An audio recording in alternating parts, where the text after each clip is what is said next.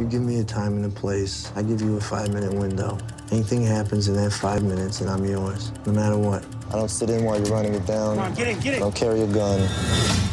I drive. So you just moved to LA? No, I've been here for a while. What do you do? I drive for movies. Is that dangerous? It's only part-time. Hi. Hi. Ah, you two know each other. Don't. You put this kid behind the wheel.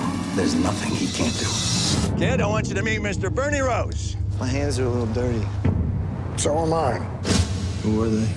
There's some guys that want me to do a job for them, and I'm not gonna do it. What's the job?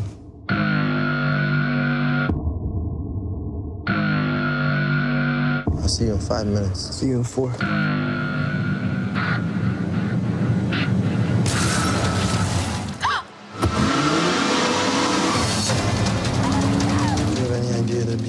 Be a second car? He said there would be another car to hold us up. Whose money do I have? I'm gonna tell you something. Anybody finds out we're both dead. What is it you got there?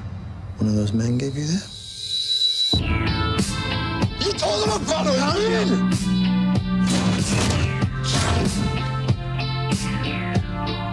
Do you remember this? No, no.